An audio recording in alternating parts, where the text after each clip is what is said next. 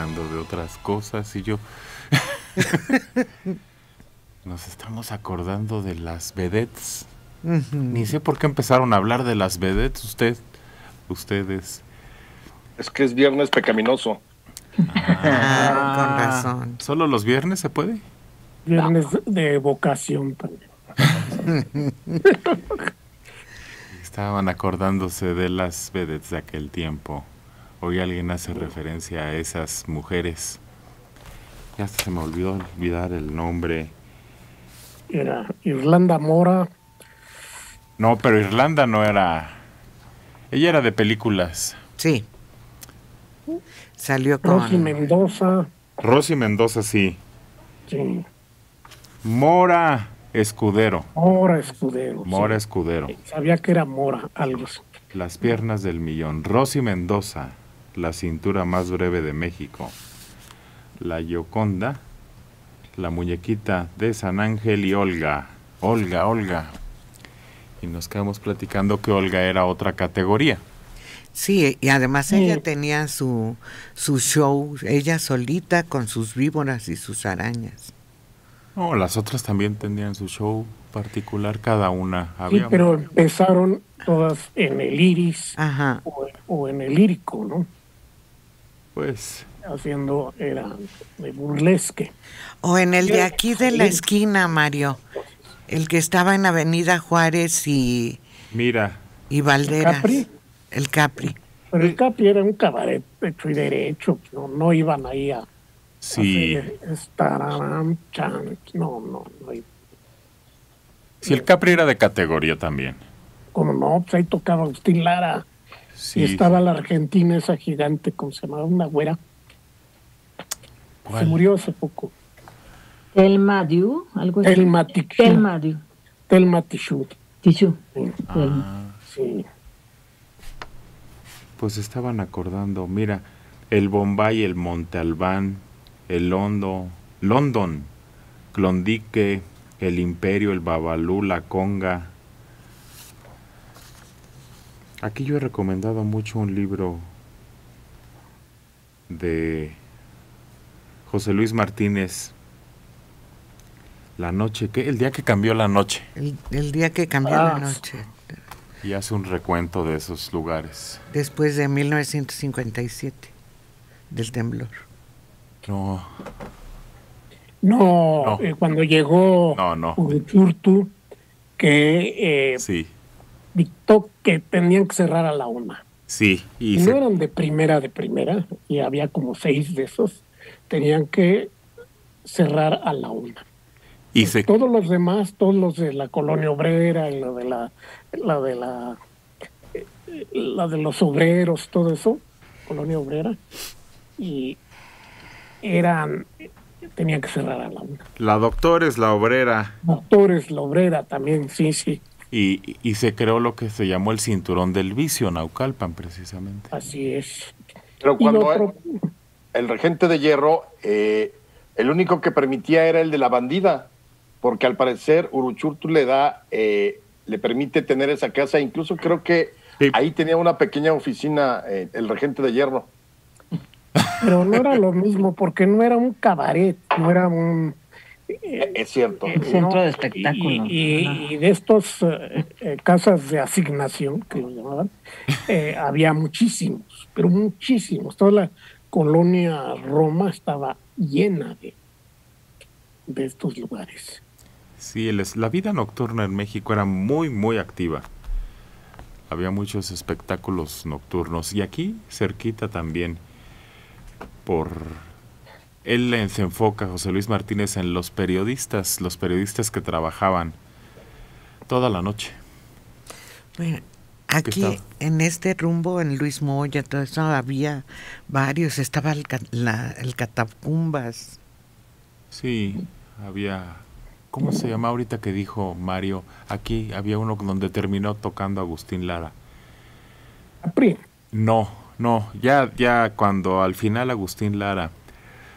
Bueno, Tenía un también nombre- estaba en López, en, un- en uno en López, era de un amigo de él. Sí, uno árabe, tenía un nombre de mercado persa, de, de, el Casbah.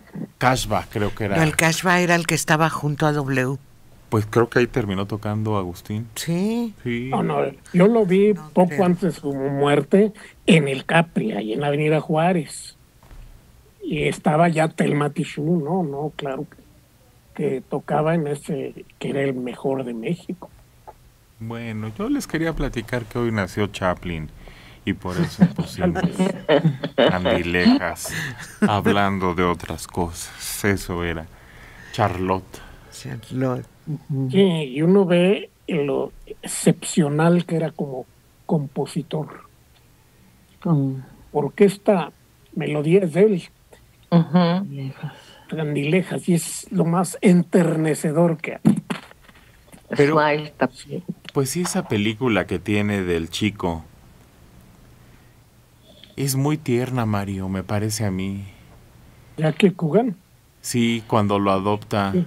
Bueno, sí, pero el- es la película, no, no me acuerdo si había un tema musical. No, no, no me acuerdo.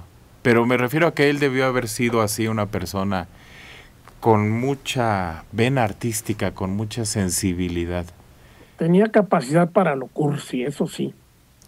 Pero se daba cuenta Eso. que no podía hacer su comicidad en lo cursi, nada más porque eh, iría a la, a, la, a la ruina, como todos, con todos los demás músicos, cómicos, Cómicos. usando por Cantinflas, ¿no? Pues, que no, no resiste la tentación de volverse moralista y tierno y enternecedor.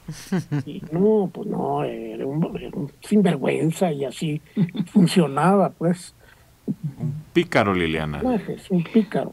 Sí, no, pues escogía los personajes que, que de- mueven las fibras, ¿no? Los más melodramáticos, el niño este callejero, la mujer ciega, eh, las situaciones que, que pesaban más a, a los más afectados, afectados en la sociedad, ¿no? La pobreza, eh, el cómo se fija también, como que imprimía también una, una crítica social de algún modo, ¿no?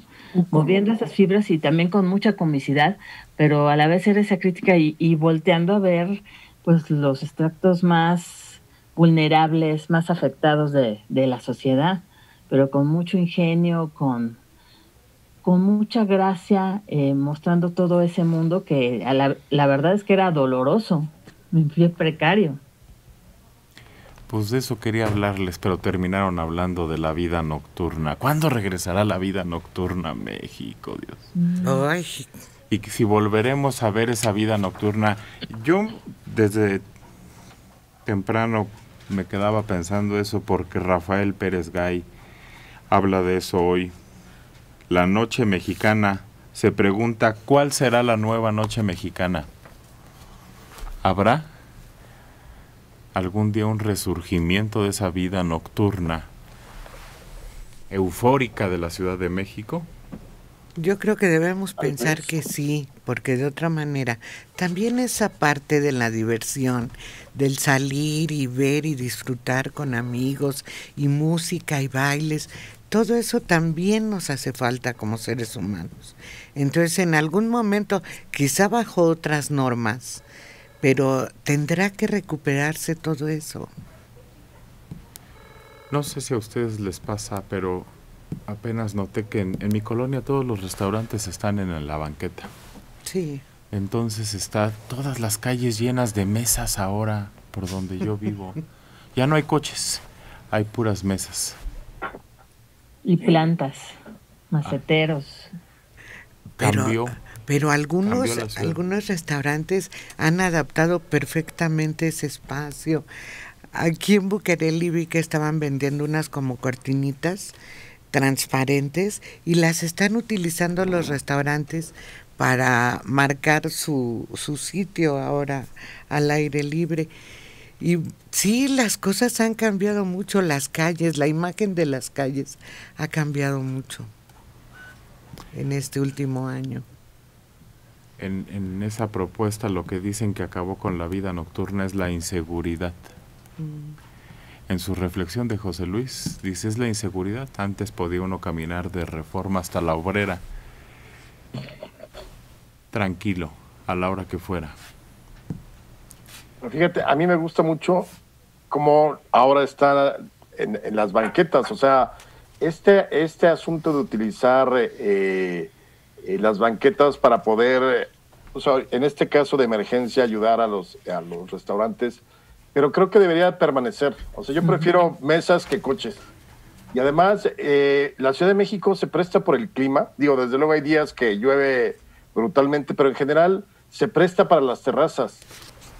Al menos durante el verano, bueno, es que casi todo el año es verano y primavera y todo. a mí me ha gustado, por ejemplo, el centro de Tlalpan, que es donde yo me muevo particularmente. Eh, la calle principal la cerraron y ahí, digamos que las mesas de los restaurantes de los portales las ocuparon y es muy caminable, entonces ya te dan ganas de ir a caminar ahí, echarte un cafecito, comer o desayunar, y está la plaza frente a, donde es la presidencia, la alcaldía o el templo de San Agustín. Entonces, creo que eh, también unas cosas por otras.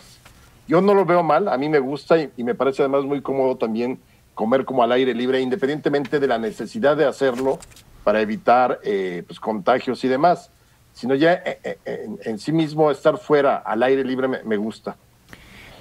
Yo lo veo como pueblerino, ahora la calle, con todos en la, ah, en la banqueta. Y como están los foquitos esos que ponen, se ve muy bonito. sí. Colgados. agradable.